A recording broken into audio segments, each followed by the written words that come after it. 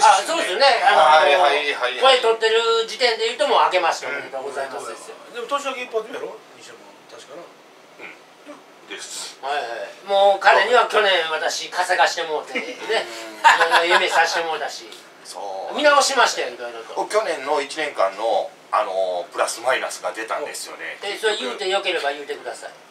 プラスでしたね。あさもちそれろんプラス。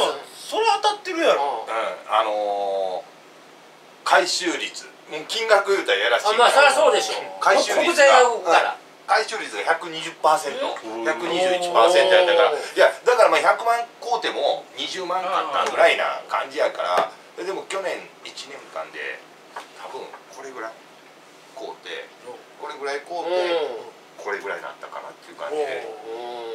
ええようん。それぐらいですわ。うん。そうほん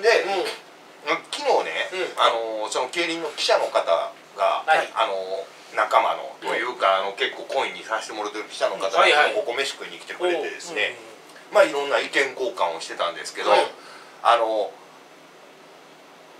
その僕がああいうところに出たりとかいろんなイベント行ったりとかしてるうんギャラの話になったんですよね。ほうほうほうほうで、なんかその業界ではうん。西山君、うん。そこそこ稼いでるらしいよって話に、えそのギャラでギギャラでギャラでギャラで、僕全然なんですよ。えああいうのはなんかよくはあるなんか事務所通してとか個人でやってるとかやるじゃないですか。もうもちろん個人ですよ。う噂だけが。うん。噂だけが先行してて。う。んほんでそれに伴っていろんな敵が増えていってるという。ですねなんか別に敵じゃないあーまあいやまあやっかみがあったりとか。やっかみがあったりとかやけどああの僕らなんかほんまほぼほぼボランティアで行ってるんですよあれ。いやまあし失礼な話その向こう間近してもらった時なんか手作り感があるそうそうなん配信だなってなるかそうなんらですよ。お金があんま絡んでへんかなっていうそうそうそう。そもうそんなことよりも、ん。もっとあの本当に面白さとか、うん。楽しさとか、うん。ちょっとそのストーリー性を持たせて、はいはい一レース一レースを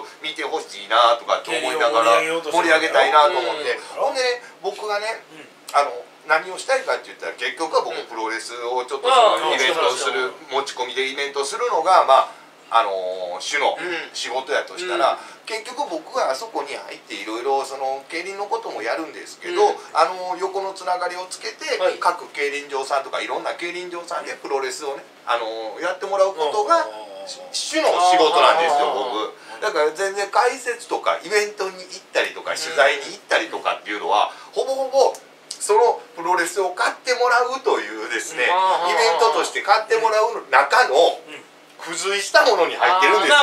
本業っていうかそうそうそうそう。主軸はプロレスでそうですそうです。はいはい。要ははっきりとかのね、うん、そうそうプロレスに要はプラスアルファで西山もついてきますよっていうちょっと競輪好きなやつが来ますよっていうだけのことやねんけどそうそうほんであのやっぱりいろんな業界でもやっぱりパイの取り合いがまあそりゃそうでしょい一緒にゲームみたいなもどの業界でもどの業界でもありますよね、はいうんそういう中でやっぱりそ僕がそうそういうとこ入っていったらやっぱりねまああんまりよくはないでそれの人ってやっぱりその、まあ、専門でやってる人とか、やっぱり数は多いわけ。そして解説的いやなそんなめちゃくちゃ多くはないんですけど、はい。やっぱりその多分競輪の業界の方でも今までイベントでこの出せてた経費が、うん。そのまま出せへんような売り上げにはなってきてるのはこれ。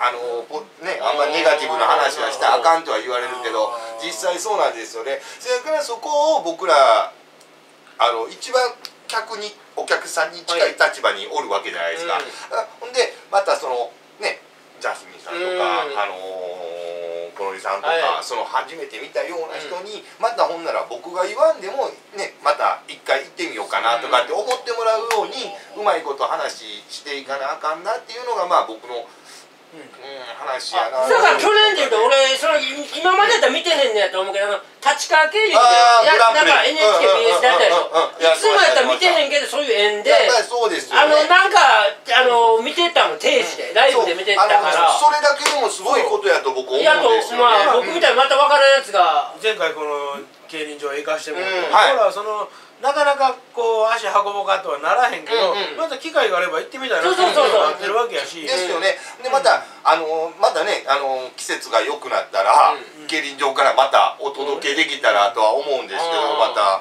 またその辺ちょっと力貸してくださいまあその広報活動がそれでは効果まあ地道やけどねそうそうです。もう地道でいいんですよね、でもやっぱりそのうんあのーネガティブな話をしたらなかなかちょっとそのいろんな部分で厳しくはなってきてるのはこれもう間違いないやろなあーという部分があってそこをどうにかしてまた逆に逆にここの皆さんからうん。ね、あの知恵をお借りしいやいやてこういうのをやったりともかうもうアホな知恵しかいないから。いやでもまあなんかなんかのよしにそのアホな知恵がポッといくこともあるわけや。いや僕ねだからちょっとね来年のイベントとして考えてるのは姉さんですわ。